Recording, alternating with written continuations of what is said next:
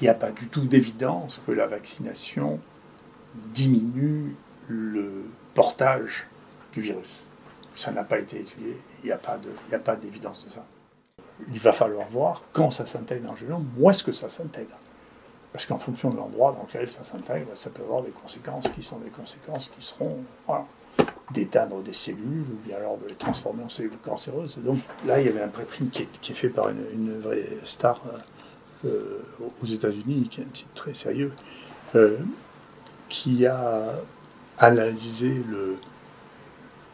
le, la fréquence d'intégration du virus SARS-CoV-2 dans le génome humain.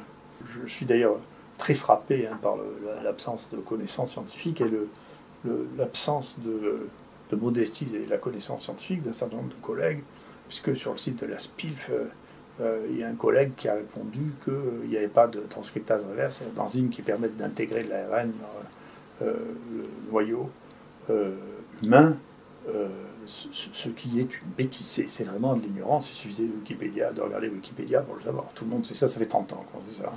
On connaît très bien même la manière dont ça rentre, on sait par où ça passe, on connaît les, bases par où ça rentre.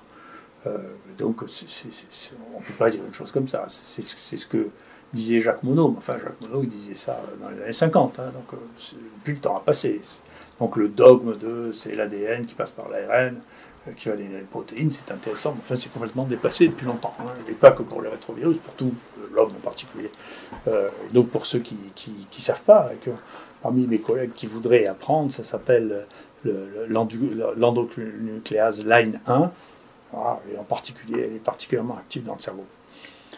Euh, ce qui peut amener à avoir des réflexions euh, sur euh, ce qui se passe. Enfin, toujours est-il que ces gens qui sont très bons ont fait des PCR, de chercher de l'ARN chez des gens, ils ont trouvé de l'ARN chez les gens, ils ont essayé de cultiver de manière persistante, ils ont essayé de cultiver le virus, il n'y avait pas de virus qui est cultivé, donc ils se sont posé la question, mais attendez, est-ce que c'est vraiment le virus ou est-ce que c'est juste des morceaux d'ARN qui sont transcrits d'un ADN qui serait rentré dans le noyau.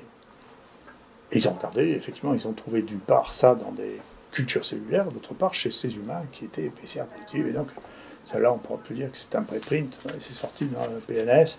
Si vous regardez bien, c'est sorti dans le PNS, et celui qui l'a communiqué, c'est un des académies.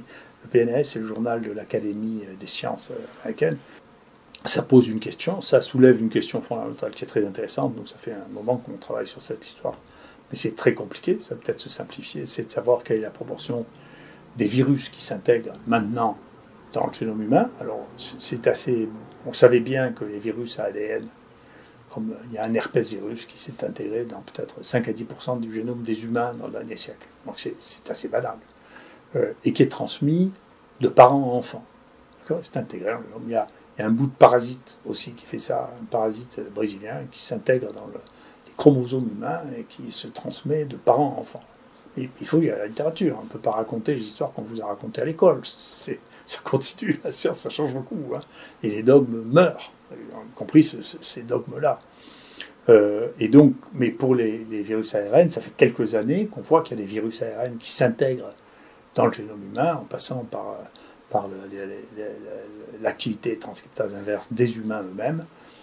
Euh, mais pour ce virus-là, on ne le savait pas, même si on se doutait que c'était possible, euh, en particulier chez les gens qui, euh, qui gardent ce virus pendant longtemps. Plus ils gardent ce virus pendant longtemps, plus il y a de chance, plus chez les gens chez qui ce virus circule dans le sang, ce qui, est assez rare, mais qui arrive, il y a probablement plus de chances qu'il s'intègre, mais on savait, encore une fois, dans les virus ADN, ça fait très longtemps qu'on sait qu'ils peuvent s'intégrer.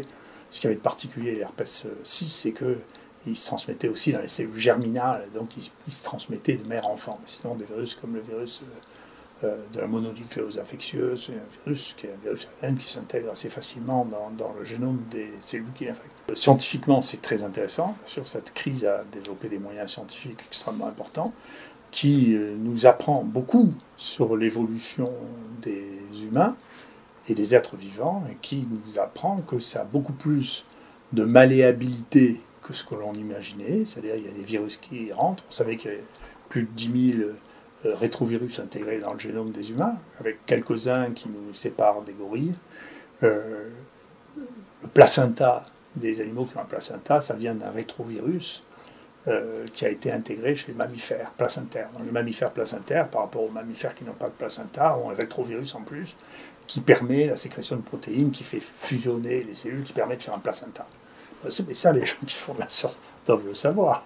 Donc il ne faut pas raconter des bêtises. Donc il ne faut pas raconter des choses très simples.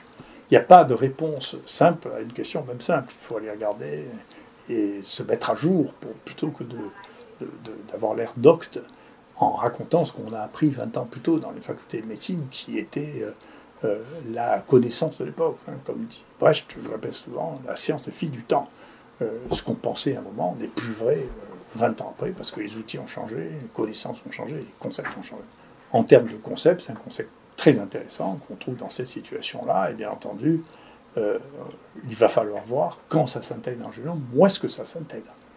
Parce qu'en fonction de l'endroit dans lequel ça s'intègre, ça peut avoir des conséquences qui sont des conséquences qui seront d'éteindre des cellules ou bien alors de les transformer en cellules cancéreuses. Donc il y a une question qui se pose, qui est peut-être pas que pour celui-là, mais qui se pose dans cette euh, infection, qui est une véritable question, qui est une question intéressante.